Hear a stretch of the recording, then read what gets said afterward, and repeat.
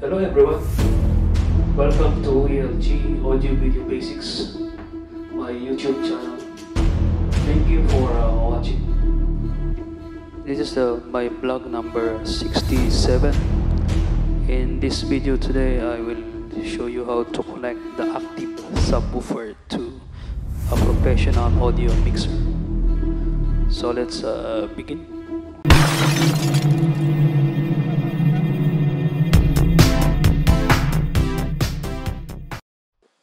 Bago ako mag-umpisa, uh, greet ko muna or shout out si paring Eloy at si Kuya Emil. Pati si Bossing Nabas ng Cititech Toshiba family. Okay, so this is uh, the subwoofer I'm going to use for this uh, demo. This is a Martin Roland 150 watts active subwoofer. So the inputs are we going to use for this uh, connection is the left and right connection. So this uh, input is uh, dedicated for RCA connection. So it has uh, two input. Uh, one is for the left and one is for the right channel. So this subwoofer you can use also for some uh, 5.1 audio video receiver which has a subwoofer uh, dedicated output. So for the, this demo, we're going to use this uh, input also. Ngayon, dahil gagamitin natin itong mixer, ang gagamitin nating uh, output galing mixer is yung monitor output. So pag ginamit natin itong monitor out, mayroon siyang dedicated uh, control knob dito. Ito, yung monitor. So ito yung monitor na to, pwede rin sa volume ng headphone. Yan. Pero may itong, meron itong selection dito, selector. Pag naka-on, yan, pag naka-on, activated yung monitor. Pag nakataas, stereo. Okay? Yan. So, i-on natin to kasi magsusupply tayo ng signal ng audio sa subwoofer. Okay, so start the connection.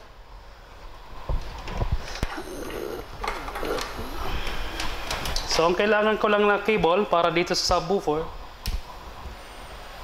is regular RCA. Okay, kabit natin yung white para sa left channel and red para sa right channel. Okay. So sa mixer, ang output niya is balance output. Pero gagamitin ko dalawang channel, left and right. So ang gagamitin ko lang, kailangan ko ng adapter para dito. So ito, gagamitin ako ng adapter. RCA to TRS or 1 port inch. Yan. Meron na tayong left and right. So ikakabit na natin ito sa monitor out.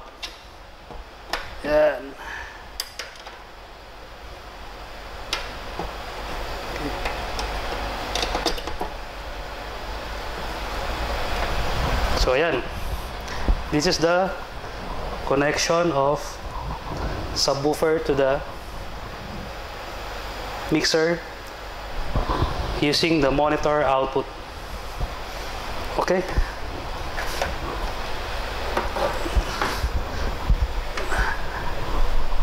Okay, now let's uh, connect the mixer to our uh, player and amplifier. Okay, so uh, itong Martin Ranger uh, karaoke player ko, naka-standby na yung uh, wire, nakakabit na to sa left and right audio output. So, ikakabit ko siya sa mixer dito sa channel 7 and 8. Yeah. Okay, so yung amplifier, gagamitin ko yung output, yung stereo out. Okay, pupunta to ng regular karaoke amplifier. Dito. Dito sa amplifier.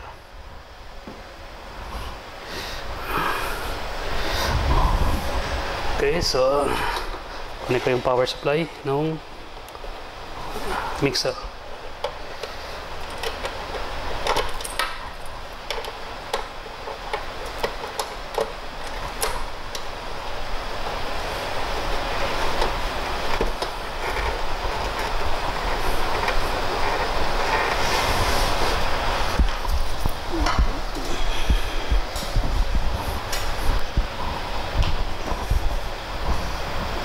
Okay, so ito yung connection ko. Galing sa mixer. Yan. Ito yung stereo out, papunta ng amplifier. Monitor out, papunta ng subwoofer. Channel 7 and 8, papunta ng ah, galing sa ah, karaoke player. Papunta sa channel 8. Ito yung control. Dito, sa 7 and 8. Okay, so test na natin yung audio and the subwoofer. And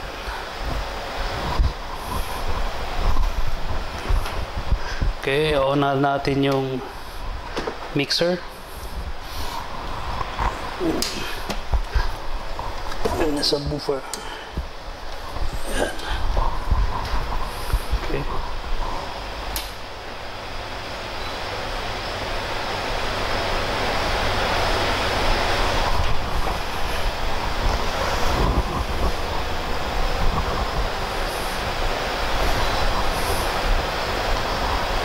Okay, so nag-play na yung ano natin pero set natin to sa USB. Yan, sa USB ako mag-play ng music.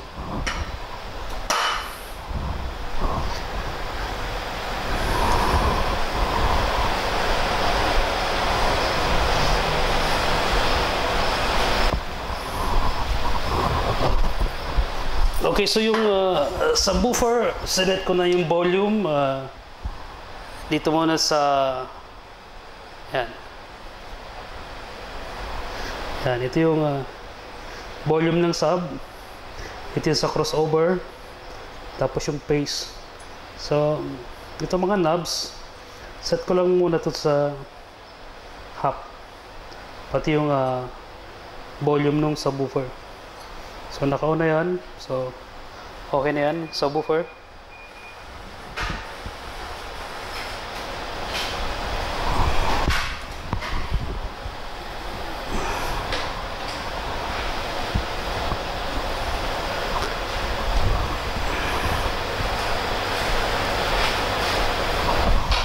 Okay, yung amplifier naka-on na yan. Okay. Test muna natin ng test muna tayo ng sound galing sa mixer. Ito yung uh, main volume knob ng uh, mixer. Then yung player nakakabit yun sa channel 7 and 8. So ito yung control knob niya. 7 and 8. Increase tayo. Ayan.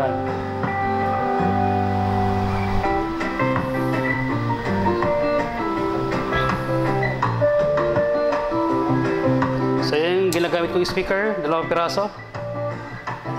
Yan. Uh, ano yan, is uh, Martin Roland. Okay. so yung subwoofer ko, hindi pa siya gumagana. Now, activate natin yung sub. So, monitor out, ito yung control knob nung subwoofer. Ito, monitor. Ayan. Ayan.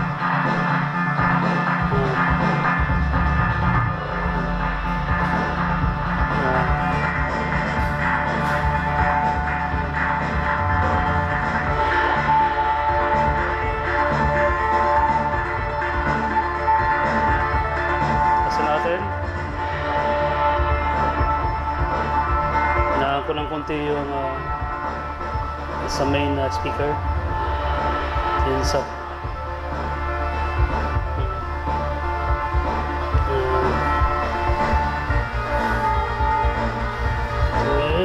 Adjust natin ng konti. Dagdagan natin ng volume sa sub.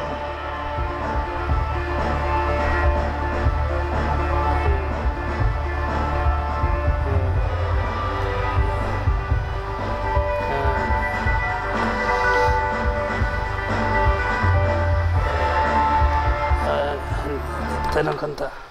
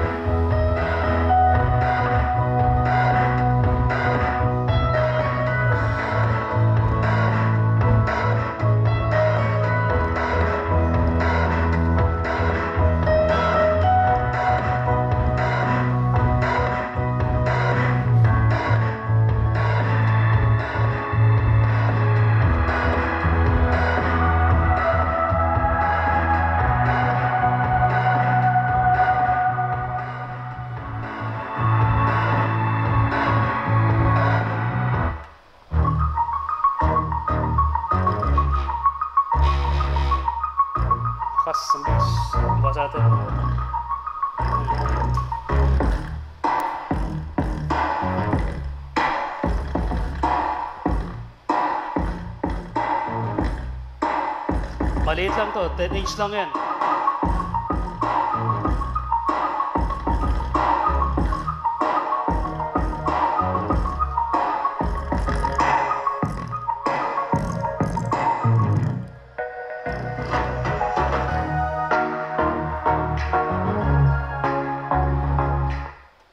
Okay guys, so ganun lang. Napakasimpleng ah, connection para sa indoor karaoke system or PIA system connection gamit ang subwoofer. So, maraming salamat sa inyong suporta. Please, ah, sa mga hindi pa po nakasubscribe, subscribe na po kayo. May gusto kayong ipa-shoutout, comment na po para sa next video, i-shoutout po natin yan. So, shoutout sa mga taga Cititech, kay paring Eloy. Yan, yan request mo. Okay, thank you, thank you, thank you everyone. Bye-bye.